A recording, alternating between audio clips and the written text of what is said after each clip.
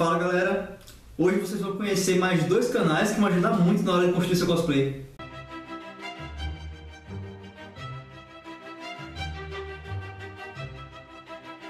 Bom galera, o primeiro canal que eu quero falar é o canal da Linha, do canal Linha Carvalho.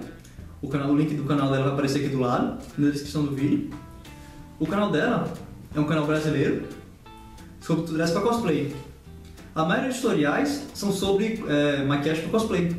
E provavelmente o canal dela é um canal brasileiro que posta vídeos regularmente sobre maquiagem para cosplay. Então vale a pena dar uma passada no canal dela, se inscrever também para receber as atualizações. Clica lá no vídeo, no link.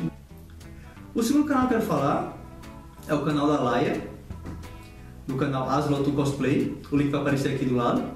Bom, a Laia é uma uruguaia e os vídeos são em espanhol. Então, eu sei que tem uma barreira da língua e tal, mas é bem, bem tranquilo de entender.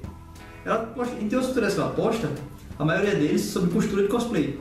Então, se tem alguma curiosidade de saber como a roupa de cosplay é feita, quer aprender um pouco sobre como costurar cosplay, clica nesse link aqui e dá uma olhada nos vídeos dela, beleza? E se assiste esse vídeo e vai se inscrever no canal de uma das duas, ou no canal das duas, digita, no digita seguinte comentário em um dos vídeos delas, ou no link de discussões, ou no, pelo Google+, manda esse comentário para elas. O canal Dica de Cosmake mandou um abraço. Por quê? Vocês vão ver esses comentários dos vídeos delas, vão ver que tem pessoas, mais pessoas se inscrevendo nos canais, e isso vai ser um estímulo para elas continuarem fazendo o trabalho que eles estão fazendo. Afinal de contas, gravar tutorial dá muito trabalho, muito trabalho mesmo. E tem pouca gente fazendo isso.